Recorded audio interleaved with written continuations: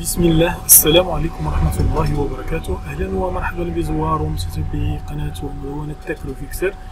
آه، اليوم آه، هناك إصدار جديد من أداة Griffin Unlock كما ترون هذه هي الأداة Griffin Unlock version ستة ثلاثة واحد. آه، سوف نترك لكم رابط من أجل تحميل الأداة تحت الفيديو إن شاء الله. إذا أولا وقبل أن تقوم بعمل extract لهذه الأداة فيجب عليك الذهاب إلى ال antivirus بالنسبة لي أنا فأعمل على Windows 10 فما عليكم سوى الذهاب هنا والضغط على ال antivirus والذهاب إلى ضغط هنا protection centre and protection هنا. ثم الذهاب إلى gérer les paramètres وتقوم بتعطيل ال antivirus تعطيل هاتين الخيارين. بعد تعطيل الخيارين ما عليك سوى الدخول إلى الملف وعمل extract لهذا الملف.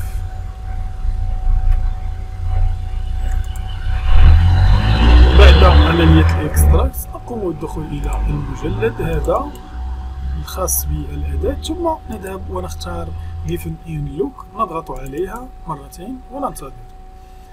إن لم تقوموا بتعطيل ال antivirus فستواجهون المشكل وهو أن ال antivirus سيوقف لكم هذه الأداة. الآن ننتظر حتى يتم فتح الأداة.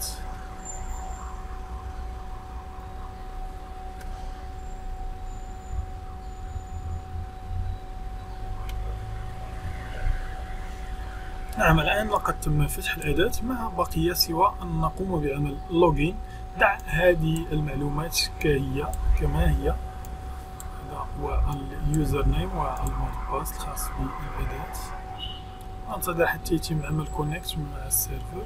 نعم الآن لقد تم عمل ال connect مع ال server. كما ترون هذه هي الأداة فهي بها واجهة unlocking يعني من أجل فك الشبكة بالنسبة لأجهزة سامسونج وبعض الأجهزة الأخرى. ثم هنا فك أو تخطي ال MDM بالنسبة لأجهزة سامسونج. وهنا عمل factory reset عن طريق ال MTP. هنا إذا كنت تريد إصلاح الشبكة يعني عمل تغيير آه، ملف ال CSC.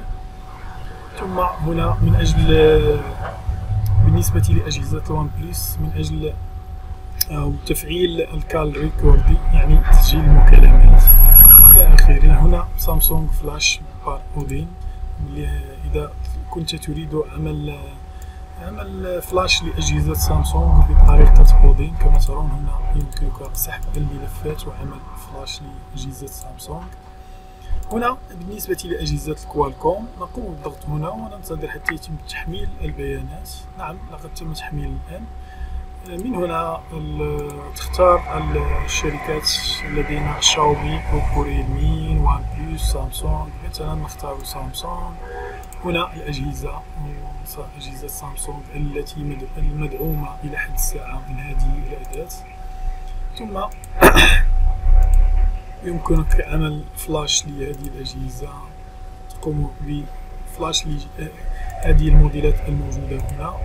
ثم هنا opération يمكنكم عمل قراءة البيانات ويمكنك هنا حذف ال FRP ثم هنا factory reset يمكنكم إزالة النمط بالنسبة لاوبو من دون ضياع البيانات ثم هنا بالنسبة لأجهزة فيفو وهنا لأجهزة ريلمي. يعني هذه الثلاث فهي خاصة بأجهزة أوبو وفيفو وريلمي. من أجل آه، تقوم بحذف ال screen lock بدون فقدان البيانات كما أن هنالك يمكنك حذف آه، بالنسبة لل FRP بالنسبة لأجهزة سامسونج ويمكنك عمل backup لل EFS إلى آخره. ثم هنا من بين الميزات الجميلة وهو كما ترون حذف ال Mi account بالنسبة لأجهزة الشاومي بطريقتين. وهنا هنا عن طريق DL EDL mode أما عن طريق ال fastboot يمكنكم يمكن يمكن هنا إذا كنت في ال fastboot يمكنك تغييره إلى ال EDL عن طريق هذه الخاصية. ثم حذف ال FRP بالنسبة لأجهزة شاومي عن طريق ال fastboot ثم حذف ال Mi account عن طريق ال fastboot ثم عن طريق ال diag mode يمكنكم عمل repair لل IMEI الخاص بأجهزة الكوالكوم التي المدعومة هنا. أما الخانة الأخرى فهي خاصة بالشاومي كما ترون الشاومي.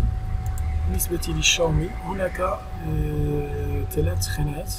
كما ترون هنا جينيرال بالنسبة لي هنا هذه الأجهزة المدعومة هنا كما ترون لا بأس. هناك كثير من الأجهزة المدعومة وهي الأجهزة من الأجهزة الجديدة. donc تختار الجهاز الذي تريد مثلا ثم تقوم بهذه العمليات الموجودة هنا. إما unlock bootloader إما تخطي ال FRP أو ال Mi account أو ال reboot to EDL إلى آخره.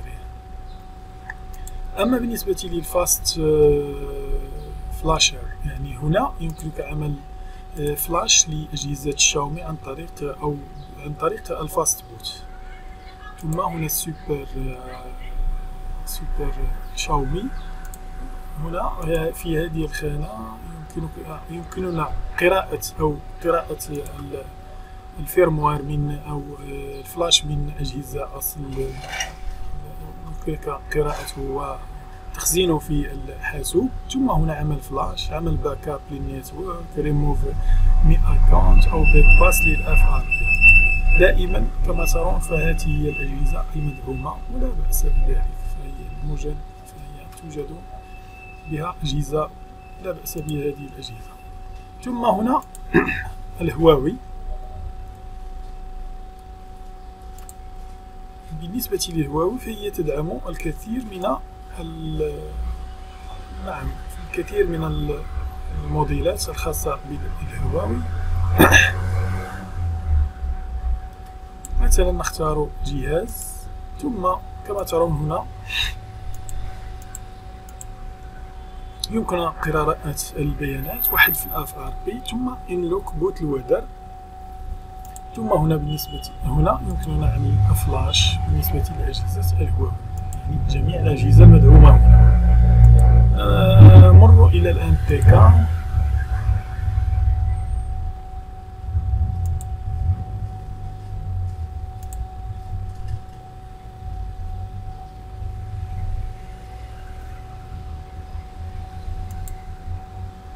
هناك بعض التشنج سوف أقوم بالخروج ثم الدخول مرة أخرى.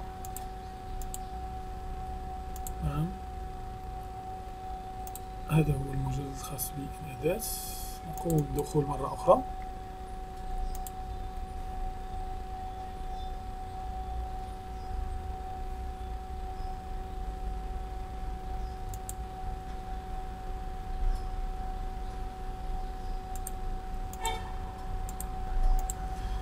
آه، هذه الأداة فهي من بين الأدوات القوية جدا آه، المجانية. الأدوات المجانية قوية جدا. نقوم بعمل لوغين مرة أخرى. كما ترون فهي تعمل جيدا. إلى حد ساعة فهي تعمل.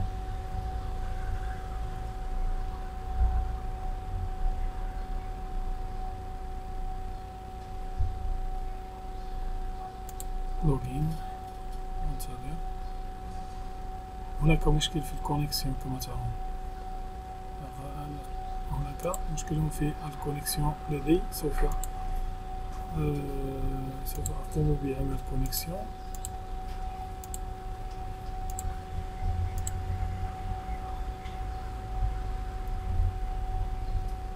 نعم هناك مشكل بال connexion لذلك فقد تم قطع الاتصال بال server. أنتظر حتى تعود ال connexion وسوف نعود. إذا كما ترون الآن قد تم آه، عودة الاتصال بالإنترنت. سوف أقوم بالضغط على الآن لقد تم الاتصال.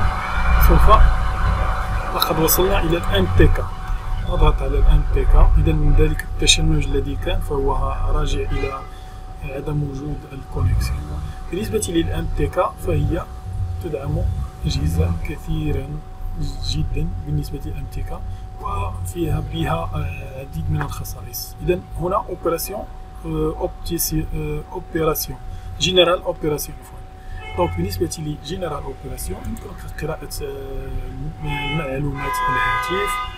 يمكننا عمل read لل firmware من خاصية scatter. ثم unlock bootloader lock boot bootloader disable up update بالنسبة لأجهزة شاومي ثم هنا بالنسبة لل reset operation يعني تقوم بحذف أو بعمل format للأجهزة. ذاك العديد من من هنا يمكننا عمل reset الكثير من الطرق. بما فيها الطرق التي يمكننا الحفاظ على البيانات كما ترون بالنسبة لأوبو وفيفو والريلمي كما هنالك اكونت ريموف اوبراسيون يعني بالنسبة لأجهزة شاومي يمكننا حذف ال Mi account ثم الحذف ال FRP FRP بالنسبة لسامسونج اي الهواوي واي دي أوبو. يعني هناك العديد العديد. بالنسبة لسامسونج الكاش جي انلوك ثم تقوم بحذف أو بتخطي حماية الكارت سيم يعني انلوك الشبكة إلى آخره من العمليات هنا الناف داتا وإلى ذلك. ثم هناك خانة الخاصة بفلاش لأجهزة ال MTK ثم partition manager وهنا بالنسبة لإصلاح ال IMEI يمكنك إصلاح ال IMEI ثم هنا إصلاح ال IMEI بخاص بفيفو نعم خاص بأجهزة فيفو ثم الخانة الأخيرة وهي خاصة بال Apple. كما ترون في فيها general function يعني هنا بعض الخصائص التي تمتاز بها بالنسبة لأجهزة ال Apple يعني read info device activation device deactivation ثم هنا ramdisk manager هنا bypass الأجهزة مثلا التي ال iPad ال iPad اثنان واثنان واحد اثنان اثنان إلى آخره ثم bypass لأجهزة GSM مع ظهور الشبكة bypass لأجهزة ال MEID بدون ظهور الشبكة إلى الإصدار 14 8 ما bypass آه، iCloud broken يعني صراحة بما أن هذه الأداة فهي مجانية ف... فهي بها العديد من الخصائص التي يستعملها الجميع. خصائص رائعة جدا. ثم هنا الرام ديسك. إذا هذا كل شيء بالنسبة لهذا آه، الدرس وإلى اللقاء إن شاء الله.